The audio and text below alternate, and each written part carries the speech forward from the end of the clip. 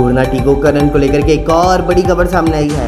प्रदेश के अंदर कल मिले हैं 4.50 लाख से ज़्यादा कोरोना के टीके। तो वहीं अब तक केंद्रों पर नहीं पहुँचे हैं टीके तो वैक्सीनेशन बंद के लगे हैं बोर्ड। वितरण में देरी से आज भी केंद्रों पर नहीं हो रहा है टीकाकरण।